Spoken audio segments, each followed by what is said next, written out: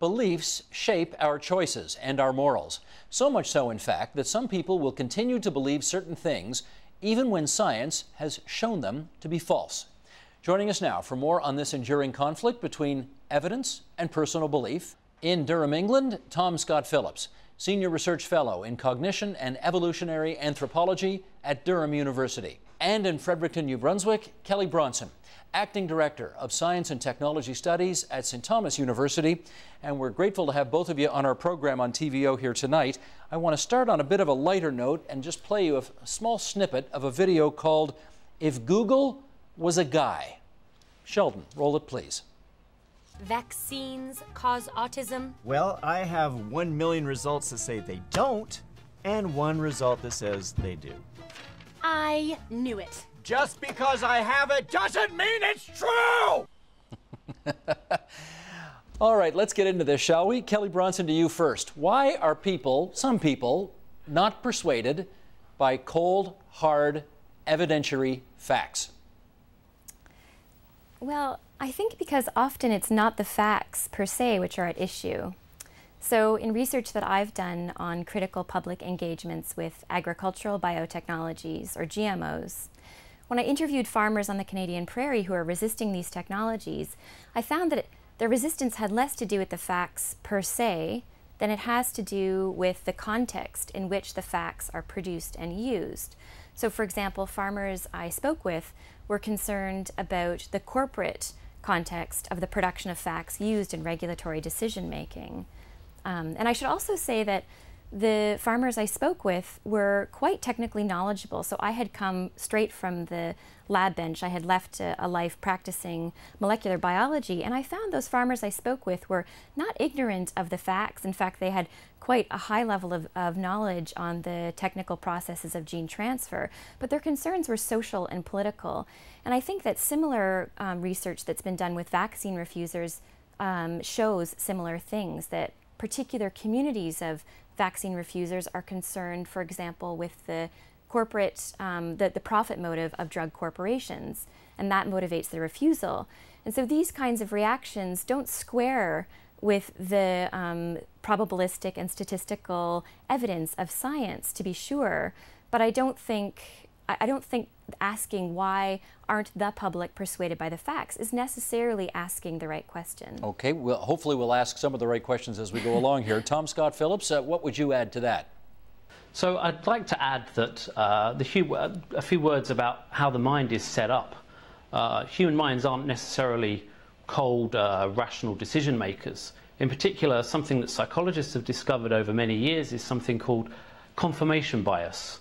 So we have certain ways of thinking about the world. We all have our own worldviews. And uh, when, we are, uh, when we look at the world for new information, when we're given new information, we don't just assess it coldly as uh, science would like us to, but we actually just look for arguments to support the worldview that we already have. Uh, and if those arguments don't support our worldview, we tend to actually ignore them rather than uh, consider things on the balance of all probabilities. And it's worth thinking a little bit about why, why human minds should have this confirmation bias.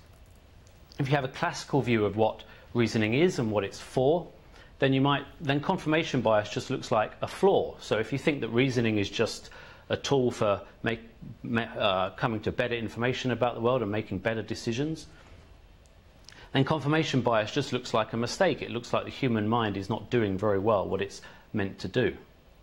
A different way of thinking about uh, what reasoning is for, though, is to think about it in terms of communication and the, uh, the way that we interact with each other on a day-to-day -day basis. So we're interacting with each other all the time. We are doing so right now, and we, we say things and we try to persuade people of, uh, of certain ways of thinking about the world and to take on board our own world views. And if that's our goal, uh, if it, um, then actually confirmation bias is kind of what we should expect. So if I'm trying to persuade you of something, then I shouldn't look for all the arguments on consider the whole balance of everything. I should just look, like, look for the best arguments to support my worldview.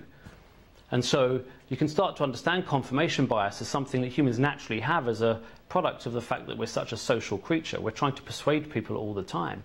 And in persuading people, we're actually biased to pull on information that supports our worldview and actually disregard information that, uh, that, that, that doesn't. Well, if you look at the skit, Kelly, that we just saw, that uh, short little uh, blurb about, um, you know, what if Google were a guy, uh, the, the woman in the sketch uh, believes her own intuition about things more than she believes facts. And I wonder, uh, you know, how big a role does uh, intuition play in, in all of this? Yeah, thanks, Steve. I, I think that also adds to what um, Tom Scott Phillips just said. Um, the or aligns with the, the, the, Google sketch and, and what Tom Scott Phillips um, is saying seem to suggest this this battle or this tension between reason and mere or irrational belief.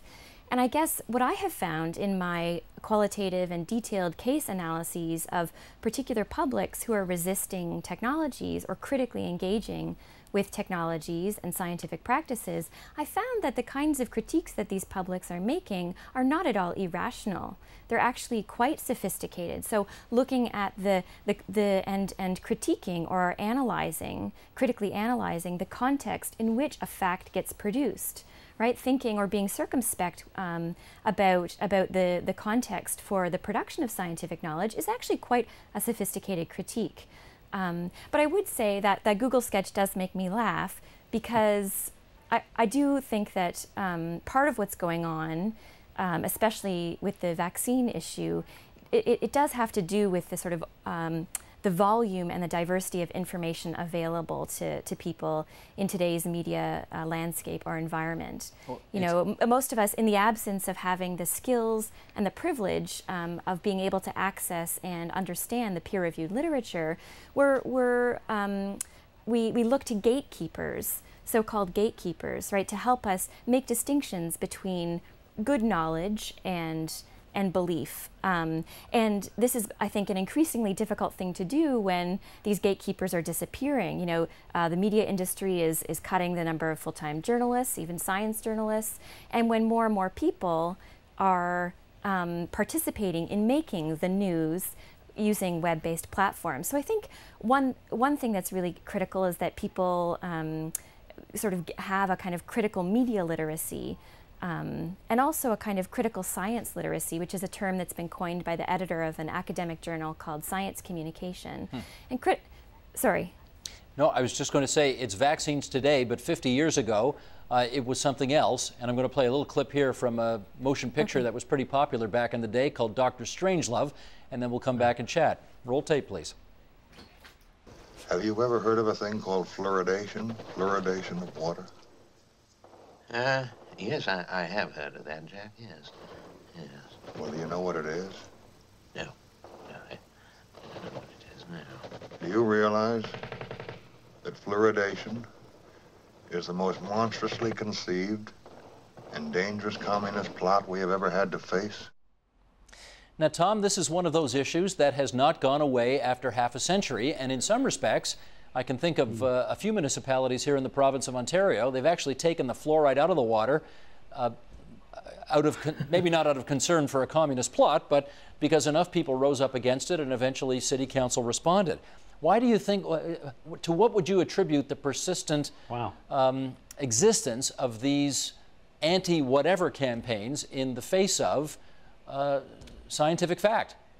So Kelly's absolutely right that a lot of people uh, out on the ground who are sort of engaged in particular issues uh, have a certain degree of literacy with uh, when they're enga engaging with science. Uh, but a lot of people, you know, man on the street, uh, maybe not engaged on a day-to-day -day basis with whether it's vaccination, fluoridation, or GMOs, or whatever it might be.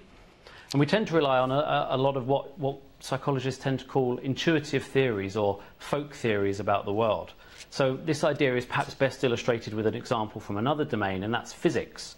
So if I just hold, you this, hold up this pen, if I let go of this pen, it's going to fall to the floor. And you know that. You know that if I let go, it's going to fall to the floor. And you didn't need to be taught that. Uh, that's just something you know by virtue of being human and growing up in a normal way. And so you have some sort of intuitive idea of physics, of Newtonian physics, but you didn't have to be taught that. And similarly, we have intuitive ideas about the biological world and about the social world as well. So one intuitive idea we have about the biological world is uh, psychologists call it essentialism, the idea that animals and plants and other organisms have an essential core which is immutable and unchangeable. And if you think about, uh, and another idea would be disgust, so the idea that uh, the, the, these, these, immutable cores are not to be polluted without outside, uh, inf, uh, outside um, chemicals, toxic toxins, and so on and so forth.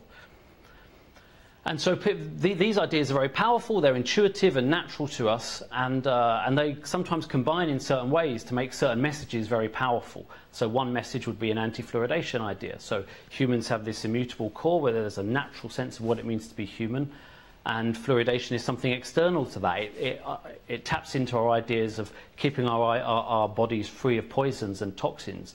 Um, you know, the same goes for, let's say, some arguments against gen genetically modified organisms. Uh, the idea that we're injecting organisms with something that's not natural to them, that's, uh, that's, that's, possibly toxic. Uh, and that's, uh, that's actually very powerful for our intuitive uh, ways of thinking about the world. Well, Tom, I'm glad you brought that up because I have an example here I want to read. It is, it is not impossible, apparently, in this society to change your mind, but it does come with consequences, and it is, for some, very problematic. Yeah. I'm going to read something here from Mark Lynas, who was once an anti GMO activist. He now supports the practice, and he had this to say in the New York Times. He said, On genetic engineering, environmentalists have been markedly more successful than climate change deniers or anti vaccination campaigners in undermining public understanding of science. The scientific community is losing this battle. If you need visual confirmation of that, try a Google Images search for the term GMO. Scary pictures proliferate. From an archetypal, evil scientist injecting tomatoes with a syringe, an utterly inaccurate representation of the real process of genetic engineering, to tumor riddled rats and ghoulish chimeras like fish apples. Kelly, I'd like uh, your view on how powerful imagery such as this actually influences public opinion. Thanks, Steve. Um, I read that opinion piece actually in the New York Times by Mark Lynas. Um, and I would just say to begin that I'm not sure that comparing the status of knowledge on GMOs with the robust and long-standing consensus on human-induced climate change is a fair or accurate comparison. But that, that aside, I would agree with um, Lynas in, in that the imagery that's often leveraged by anti-biotechnology activists doesn't necessarily, um, it not only does not reflect the scientific evidence that, it, that which exists, but it actually, I don't think, very accurately reflects um, concerns that, that, say, peasant farmers, and that's particularly what he talks about in that opinion piece, right? He talks about um, a, a, GM uh, eggplant variety that's, that's not being taken up by Indian farmers. And I, and I think that you know the imagery that speaks to health hazards or environmental concern isn't necessarily speaking to what's at the at, root of the issue in resistance among peasant farmers in the global south against these technologies. So, so I think a lot of farmers in, in India, for example, have concerns about the licensing um, structure that surrounds these technologies. So farmers who use GM seeds have to sign a licensing agreement with corporations like Monsanto, and they have to pay the corporation year after year, which undercuts the historic practice of seed saving, among else. And, and I think that these kinds of issues are really what's at root of much of the, the concern among peasants in the global south around these technologies. And it's actually interesting, there's research that's being done that shows the same the, the restrictive nature of these, this um, legal infrastructure surrounding these technologies is actually equally restrictive around, uh, uh, for scientists who want to, public scientists, who want to study the health and environmental effects of these technologies and, and can't do so because of the patenting um, infrastructure. And so I think even if these uh, technologies were proved safe and effective at increasing yield and um, feeding the, a, a, a growing global population. And I'm, I'm, i think the jury is still out on that. But even if that were the case, um, I believe that some farmers would still resist these technologies because of, at least in their current legal and regulatory uh, constitution. Let me follow up with Tom on this then. Let's take GMOs out of the equation and just make uh, focus on his more overarching point, and that is that Mark Lynas believes that the scientific community is losing the debate uh, for credibility in the public's mind. Do you think he's right about that?